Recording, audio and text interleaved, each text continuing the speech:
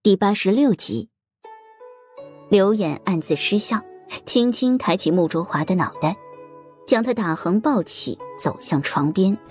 小姑娘嘴上会哄人，口口声声说喜欢他，却到底还是年纪小了点不知道无心撩人才最为致命。刘演将她放在柔软的榻上，为她脱去鞋袜，露出莹润的小脚，不由得呼吸一滞。那日在城外遇袭，他也曾这样照顾过她，只是此时的心境和那时似乎已然大有不同。他此刻是难以纯粹的将她当成一个孩子了，毕竟他对一个孩子是不会有朝思暮想、心神失守的感觉的。刘演叹了口气，为他掖好被角，看着他沉睡的侧脸，轻轻说了一句：“以后。”可别在旁人面前喝醉了。第二日，穆卓华醒来，回想了半晌昨天发生的事儿。他和柔家公主说过的话，倒是都记得。可是回来之后呢？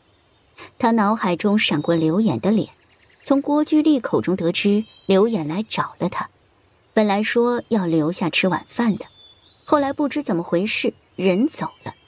郭巨丽回来时，只看到穆卓华躺在床上呼呼大睡，一只脚丫抡出了床沿。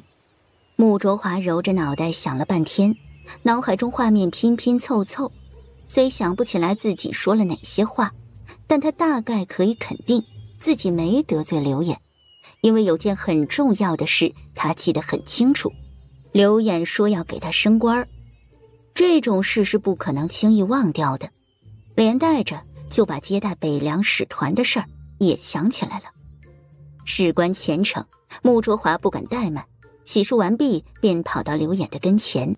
穆卓华来的比刘演预想的早，看着衣冠端正、一本正经跪在下方的穆卓华，刘演忍不住板起脸来逗他：“你跪下做什么？”穆卓华恭恭敬敬道：“下官酒后失态，冒犯了王爷。”特来向王爷赔罪。刘衍淡淡点头，难为你还记得。穆卓华扬起脸，一脸的真诚。下官对王爷可谓是一片坦诚，赤胆忠心，死心塌地。王爷念在这点上，想必是不会怪我的。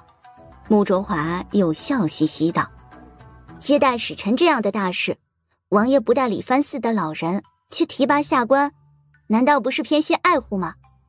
下官体会到王爷的良苦用心，定然全力以赴，不叫王爷失望。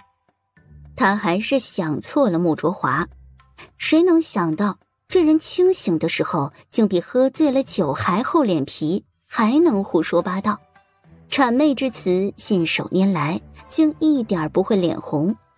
他若不看着管着，这来日必是一个大谗臣。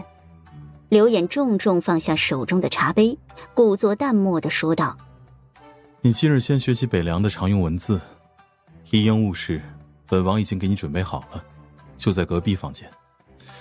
上午记出一百字，下午本王来考考你。”刘衍说罢，便起身出了门。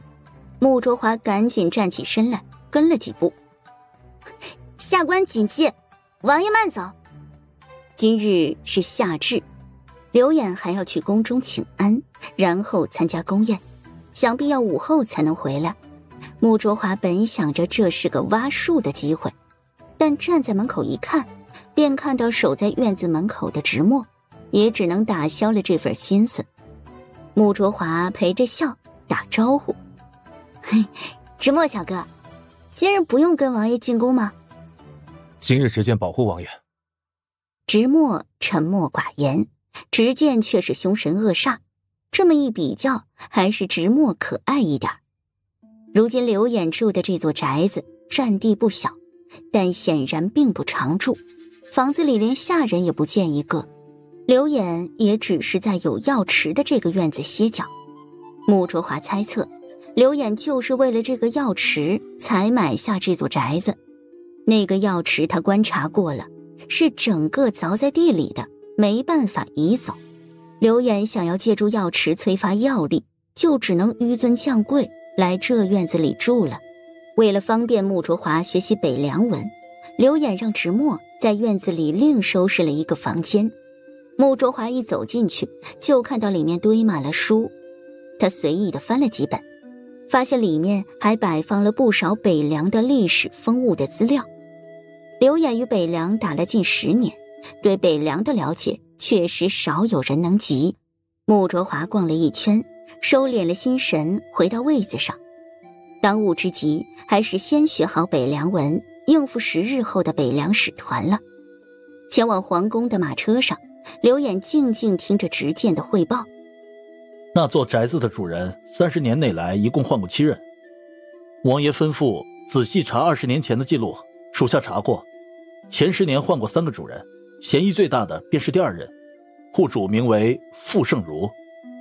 只见地上一张薄薄的纸。上面写满了傅盛如的信息。傅盛如是二十八年前搬进去的，他是当时民间极具声望的神医，也有人说他是怪医。他最喜欢研制新药，倾家荡产的购买名贵药材做实验，因此虽然是个名医，却负债累累。最后受太医院聘用，进太医院做事，因医术出众，被封为当时的太医院院首。